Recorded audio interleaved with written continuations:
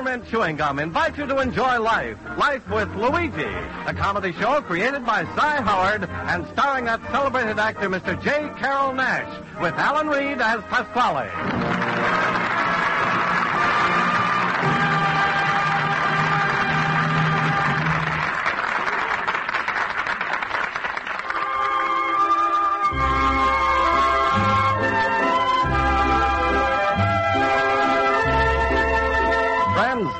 Makers of Wrigley's Spearmint Chewing Gum are glad to bring you Life with Luigi because they feel it's a friendly, good-natured show that offers you relaxation and enjoyment. And you know, Wrigley's Spearmint Chewing Gum offers you relaxation and enjoyment too. It's pleasant to chew on a smooth piece of Wrigley's Spearmint whether you're working, shopping, listening to your radio, or doing just about anything. Wrigley's Spearmint Gum tastes good, it's refreshing, and the good easy chewing gives you comfort and satisfaction. Now, Wrigley's Spearmint Chewing Gum brings you Luigi as he writes another letter describing his adventures in America to his Mama Basco in Italy.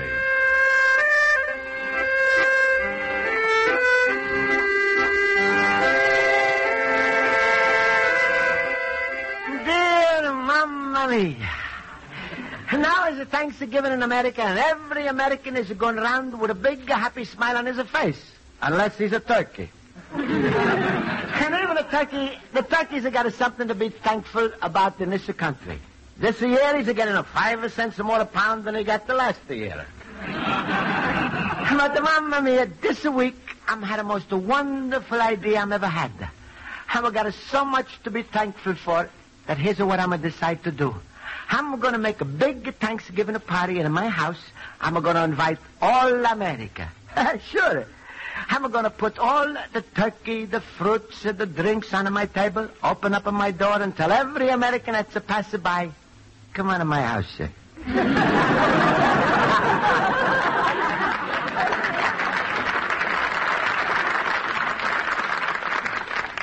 Maybe it's a sound crazy, Mamma Mia, but but how else am I going to show my appreciation for living three years in America? First, I'm thought uh, maybe I should write a letter to President Truman and say, Dear President, thanks for letting me in. but Pasquale says uh, Truman is going to find out i'm didn't vote in 1948, so he's going to write the back, uh, You're welcome and get out there. and then, then I'm thought uh, maybe I'm going to show my appreciation by paying my income tax four months early. Again, Pasquale says no. He says if I'm sending the money now, Treasury isn't going to get a full too quick, and that's liable to inflate the inflation. so then I'm got this uh, big, big idea to make a big Thanksgiving dinner in my house and invite all the Americans to come and celebrate it with me. Then, while, while everybody's eating, I'm going to tell them a story. I'm going to tell them the story of a Thanksgiving and the Pilgrims and what it's mean to me. Luigi, my friend. Hello, Luigi. Hello, hello. Hello, Pasquale, and, and a happy Thanksgiving. Same to you, little turkey puss. Luigi, look, I know you got no plans for this Thursday, so I hereby invite you to the biggest Thanksgiving dinner you ever ate in all your life. Oh, thanks, Pasquale, but but not this year. What? Well, this year, Pasquale, I'm, I'm making my own dinner. Ooh, listen to the little pumpkin head. That's right. Luigi, turkey costs us 70 cents a pound. You worth the 10 cents a pound. There's a more chance that the turkeys are going to have Luigi for Thanksgiving. Now, don't worry, Pasquale. I'm got enough of money. I'm took out all of my money from the bank, and I'm buying the turkeys, pies, the fruits, the nuts, everything. Look out every penny, eh? Yeah. Who you going to invite to this feast? America. What? America? Yeah. Luigi, you ain't even got a room in your house for Rhode Island. oh, what a big dope I was to let you fool me. For a minute, I thought he was serious. Yeah, but I, but, but I am serious, Pasquale. oh, Luigi, come on. I think you better come with me to some psychologist so he can give you a sanitation test. But. I'm not the crazy. Listen, Luigi, just because the Marshall Plan feeds Italy, that don't mean you got to start a Basco plan to feed America. But Pasquale, I Oh, was... stop, you big dope. How many times I got to warn you to stop bothering this country? You got two more years before you get the citizen papers. So lay low. Don't act suspicious. Don't feed Americans. Don't do nothing until they make you a citizen. Then you can be as stupid as you want.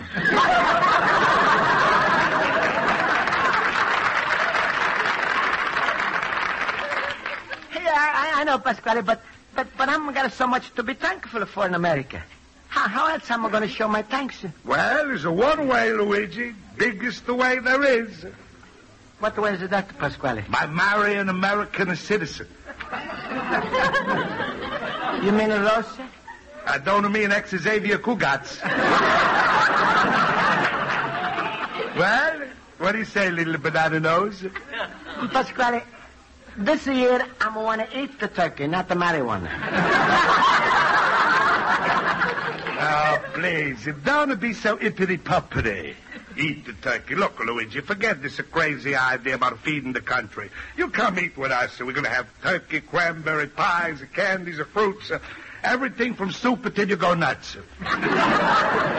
Ah, Pasquale, thanks you so much, but this year I'm to say no. Uh-huh. Still, they're going to invite America to your party, huh? That's right, Pasquale. Uh, how you going to do this, Luigi? You're going to go to your telephone, call up Washington, and say, "Hello, Harry.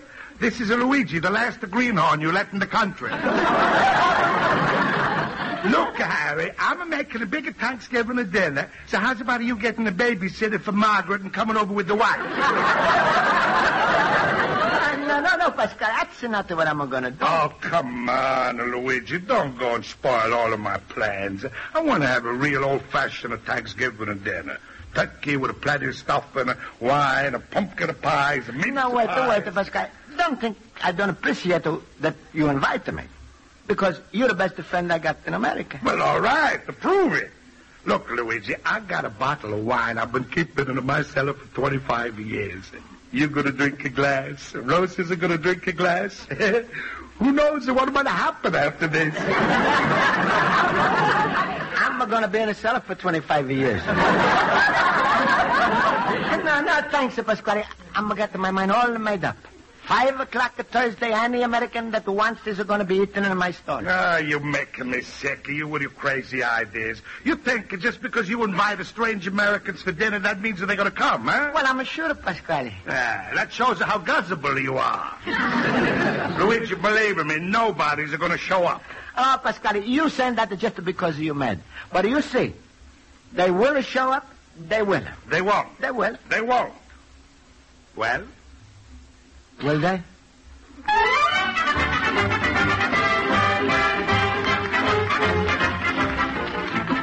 We're going to have the most wonderful Thanksgiving dinner. Quiet class. Send I'll call the roll.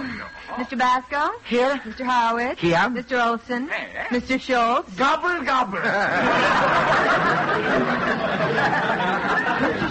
Schultz, I uh, presume you're imitating a turkey. Gobble, gobble, gobble, gobble. Please, control yourself. That's impossible. In this season, a turkey has got to lose his head. All right, Mr. Turkey, since you're so full of the holiday spirit, perhaps you can answer some of the history questions I prepared about Thanksgiving. Well, that's unconstitutional, Miss Spaulding. In America, you can't force a turkey to testify against himself. All right, never mind. Mr. Howard, you may tell us, what year did the Pilgrims arrive in America? With pleasure. It happened in 1620. Correct. And what was the name of the boat they came in? The Maytag.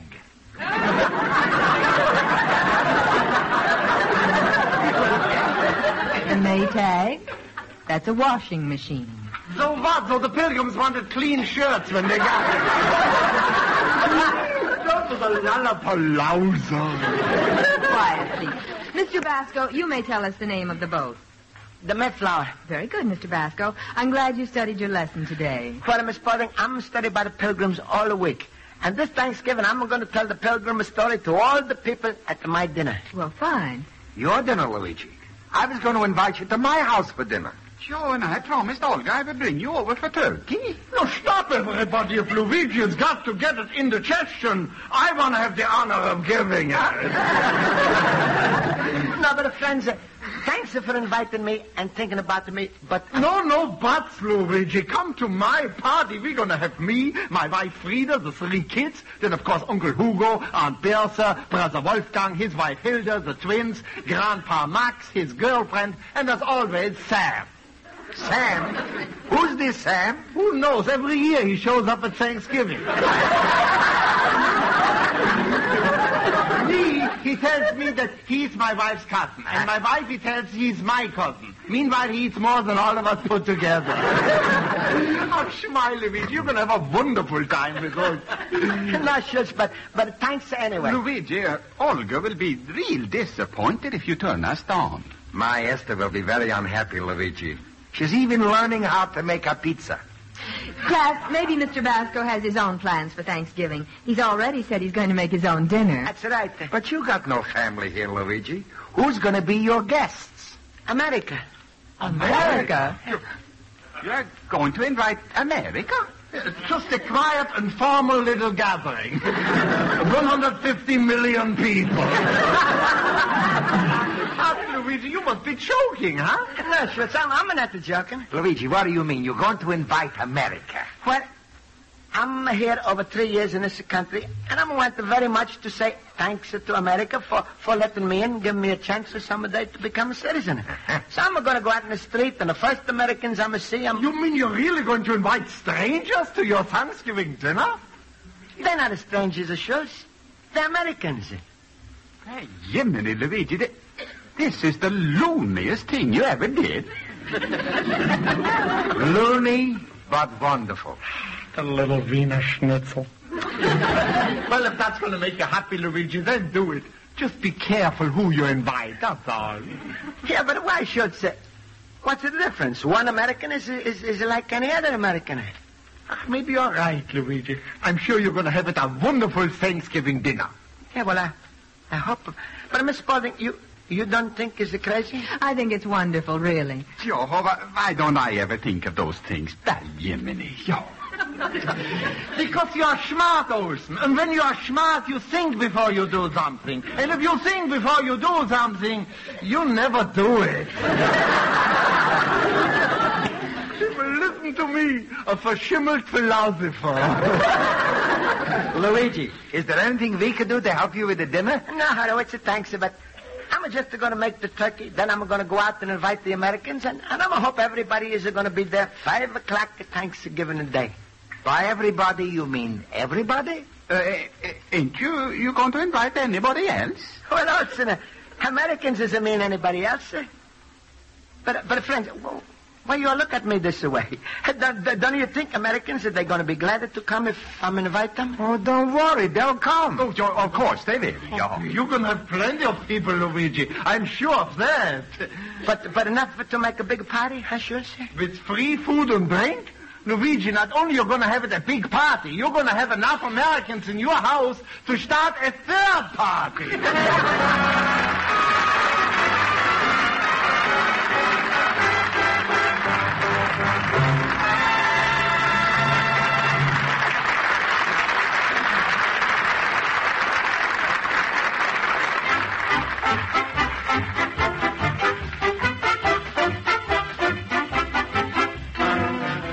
we return to life with Luigi, here's a suggestion that'll make your Thanksgiving dinner even more enjoyable. After dinner, pass some Wrigley's Spearmint chewing gum around the table. Yes, a stick of delicious Wrigley's Spearmint gum tastes mighty good after a meal, or at any time. It's refreshing, it leaves a nice, clean taste in the mouth, and the pleasant chewing aids digestion. So, plan to top off your dinner with healthful, refreshing Wrigley's Spearmint chewing gum. The folks at your house will really enjoy it. And remember, it's a good idea to have plenty of Wrigley Spearmint gum handy at all times, because chewing Wrigley Spearmint adds to your enjoyment of whatever you're doing. When you're shopping, be sure to include a few packages of Wrigley's Spearmint chewing gum.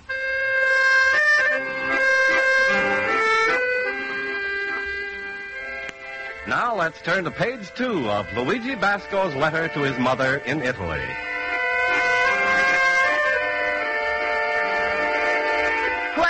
Mia, tomorrow's going to be Thanksgiving. And today I'm a fixed up a two turkeys. I'm going to put them in a stove. I wish you could have seen those turkeys, Mamma Mia. So nice and a big. I bet that there was a saying before they come from the farm. Hey, eat a lot because the Luigi's are going to need you for this Thanksgiving party. well, I'm going to get everything I'm going to need. The pies and nuts, the fruits, the candies, and... And now I'm going to go to the bank and get my last five dollars for the decorations. And also, while I'm there, I'm going to invite everybody in the bank to my party.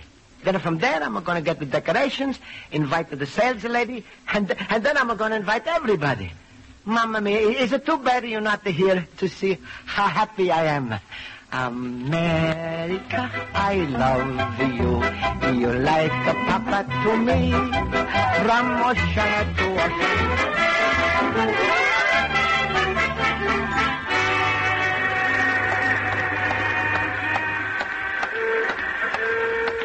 Ah, here's, here's my banker. Ah, he's a wonderful banker.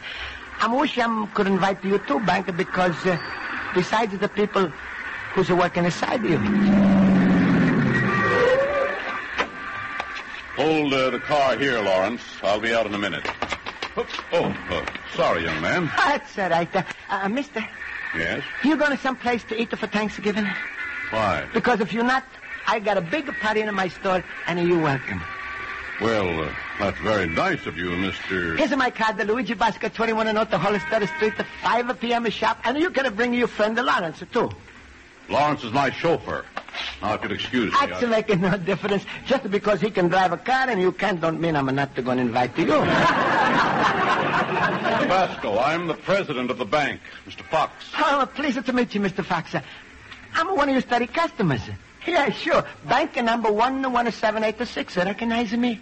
Uh, no, no.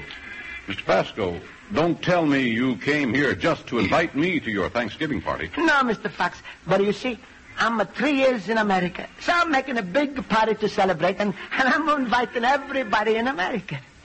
Everybody in America.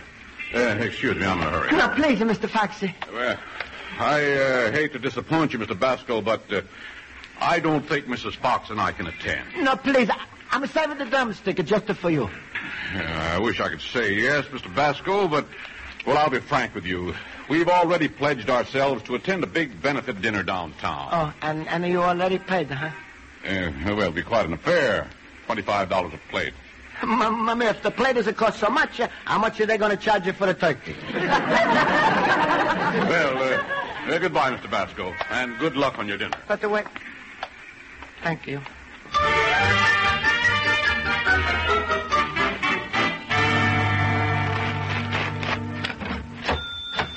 Yes, sir. Can I help you? Uh, please, mister, I'm like some little balloons and the decorations for my Thanksgiving party. Certainly. How many guests will there be? I don't know.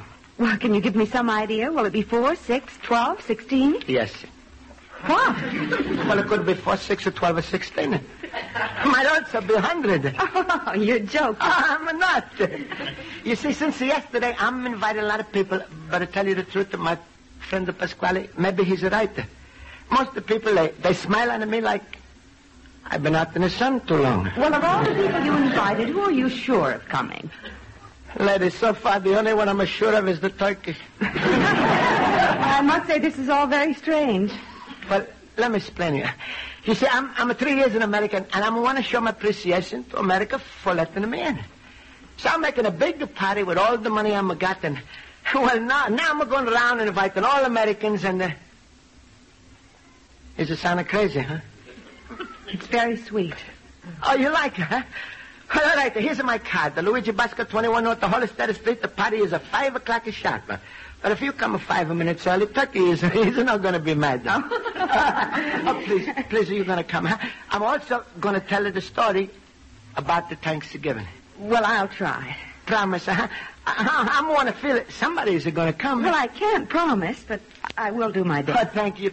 Thank you so will it much. be all right if I bring a friend? Anybody, Miss Lady, anybody. I'm not care if you bring an enemy.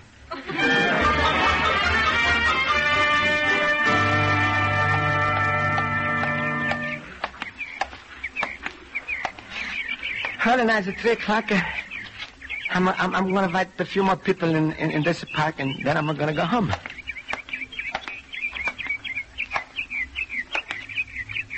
Oh, hello. Hello. Mind if, if I'm a sedan? Go ahead. It's a free country. Uh, good. I, I'm glad you agree with me. Huh? Is, is it nice here in the park, huh? Sure. I like it so much I sleep here. Oh, you, s- you sleep Real nature lover, huh? Yeah. You bring any breadcrumbs? Why, you, you like to see the people feeding the birds, huh? Yeah. And it comes in handy if you ain't had lunch. M- Mommy, you hungry, huh? I'm sorry for you. Mister, I didn't ask for pity. Just for food. Well, all right.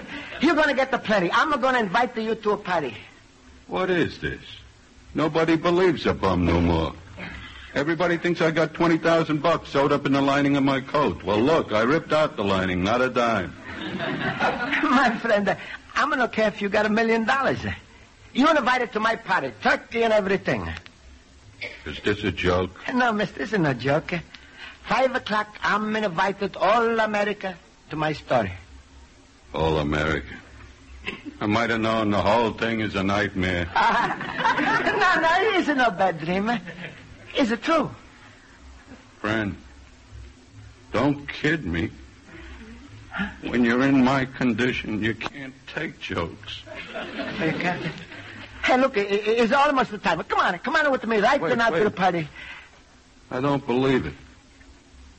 Let me touch you. Huh? I sure, here. See? Gee, this is Thanksgiving for real.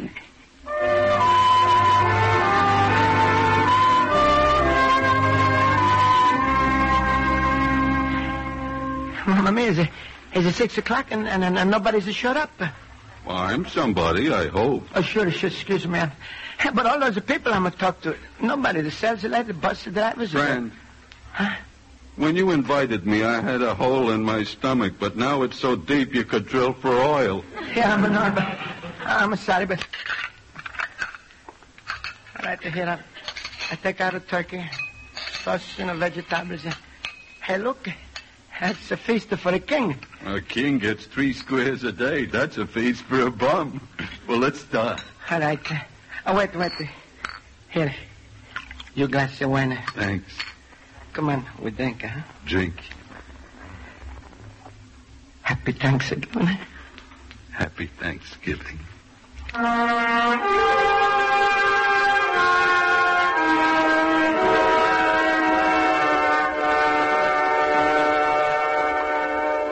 So the pilgrims that sailed from Plymouth in England, September 6th, 1620, was about a hundred men, and women, and the children. Pass the pickles, please. Yeah. Here. And they came to Massachusetts December the 21st, the 1620. Everything looked black, but suddenly the harvest was good. It couldn't be as good as this turkey. Cooked it yourself, huh? Yeah. Well, you ought to eat some of it. Yeah. No, no, I can't. I... So in November, the pilgrims have decided to give it a thanks. Hey, here comes somebody. Huh? Well, hello, Mr. America. Oh, it's you, Pasquale, huh? Here better be, otherwise I've been feeding somebody else in the face all day. That's very funny. Ha ha. Uh, uh, Who's this, Luigi? Pasquale, this is my guest. What? Oh, Pasquale, what, what, what, are you laughing about? Oh, you invite the whole country, America. and what shows up? The Brooklyn. Listen, friend, lay off that stuff, or this place will have another dead turkey. Oh, shut up you face. Well, Luigi, who was right? You spent your last dime for a party, went out of the streets, invited hundreds of people, and what do you got? Just enough to start a one game of canasta. Uh, please, please, Pasquale, don't make me feel worse. Uh, excuse me, am I in the right place? Sure, sure, come on in. There. I remember you. You wasn't the man who was a pasting the posters on a billboard. Yeah, that's right. I had the devil of a time finding this place. Well, uh, now you're here. Come on, start eating it. Pass the potato salad. Sure, sure. Uh, I hope you don't mind I brought my wife. Mind that. I'm very happy. Come on in there, Mr. Billboard, the poster. Look, somebody else is coming. Mr. Basco, Miss Sales, the lady. am I too late? Pass the white meat. Oh, no, no, no. No, you're not too late. I'm going to stop a passing in the service something for you. I'm sorry, but my friend was delayed. Fella, come on, hurry up. The party is just getting started. Hiya, pal. My bus broke down. Where's the food? Pass the applesauce. Oh, no. No, no, no. You, you pass it to somebody else this time. Here's, here's a little food for you. Oh, thanks. Come on, my man, some more people. Hey, come on in, everybody. Come in. Come on in, everybody. What, what if us, buddy? What do you say now, huh? Uh, it's enough to make you lose the faith in human nature. Well, Mr. Basco. Mr. Fox, uh, honey, you came too, huh? Yes, yes, I did. I brought my Oh, come on in, come on in. Come on, mommy. Help us, buddy. Please help me move the furniture around so we're going to have a more room, huh? All right, all right. Uh, sitting at that banquet, I thought about your idea of inviting America. Well, I just got up and came over. Boy, I'm glad I got here first. Hello, Mr. Basco. People are starving. Like a convention of starving turkey stuffers. Luigi. Yeah, yeah, Horowitz. Uh, Luigi, next time when you invite all America, don't leave us out. Yeah, but Horowitz, uh, oh, I'm a tot, do you understand? You think I would have a party without all of you? Well, that's what we thought. So here we are and pass everything. Just a second, Luigi. Wait a minute. You're going to make this a real party. Is the one person you've got to invite. Ah, yeah, you're right, uh, Pascal. All right, go on invite her, huh? all right, I'm going to call her in. Rosa! Rosa! Rosa!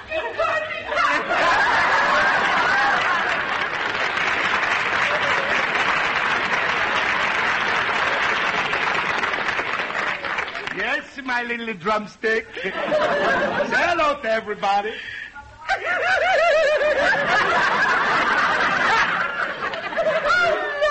everybody.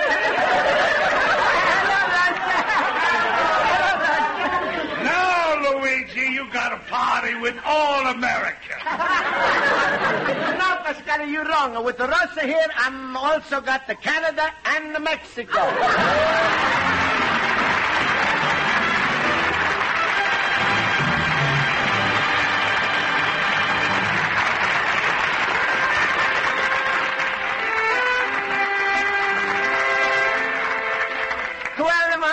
Mia, I'm, I'm had the best time of my life for this Thanksgiving.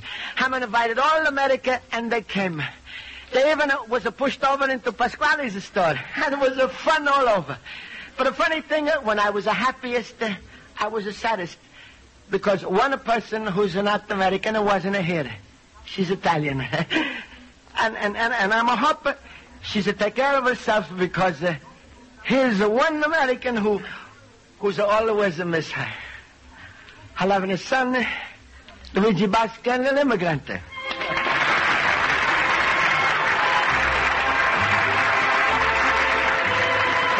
Makers of Wrigley's Spearmint Chewing Gum hope you enjoyed tonight's story of life with Luigi. And for real chewing enjoyment, remember Wrigley's Spearmint Gum. You'll enjoy chewing Wrigley's Spearmint while you're working, for instance. Just sink your teeth in and let the smooth, good chewing help keep you going at your best.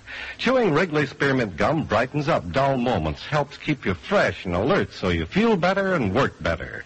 Yes, millions chew Wrigley's Spearmint Gum on the job to make their work go faster, smoother, more successfully. So for a real help on the job and for real chewing enjoyment, remember Wrigley's Spearmint Gum. Healthful, refreshing, delicious. Get a few packages tonight or tomorrow morning. The makers of Wrigley's Spearmint Gum invite you to listen next week at this time when Luigi Basco writes another letter to his Mama Basco in Italy. Life with Luigi is a Cy Howard production and is directed by Mac Benoff. Pat Burton is associate producer. The script is written by Mac Benoff and Lou Derman. J. Carrol Naish is starred as Luigi Basco with Alan Reed as Pasquale, Hans Conried as Schultz, Jody Gilbert as Rosa, Mary Shipp as Miss Spaulding, Joe Forte as Horowitz, and Ken Peters as Olson. Music under the direction of Lud Gluskin. This is Charles Lamb. This is the CBS Radio Network.